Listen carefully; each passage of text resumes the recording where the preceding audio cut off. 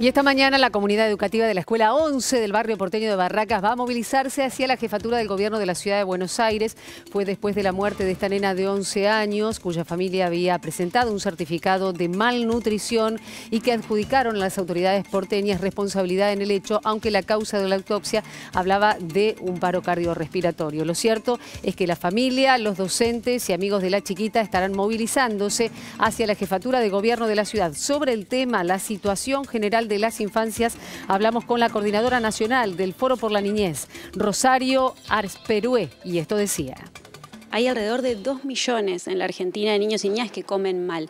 Y esto repercute en su salud, en su trayectoria educativa y en su desarrollo como persona. Que todavía nuestro país, que produce tanta riqueza, la estamos distribuyendo muy mal. Necesitamos seguir teniendo políticas y discutir eh, sobre cómo se distribuye la riqueza en nuestro país.